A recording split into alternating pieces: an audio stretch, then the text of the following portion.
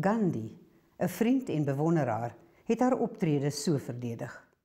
Gandhi saw her as one of the noblest and bravest of women. What a recommendation. In the obituary he wrote, he said, She worked without ever thinking of any reward. Hers was service of humanity, dedicated to God.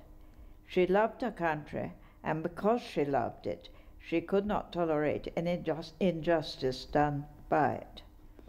She went to South Africa, and her whole soul rose against the barbarity of the concentration camps, which Lord Kitchener thought were necessary if the war was to be won.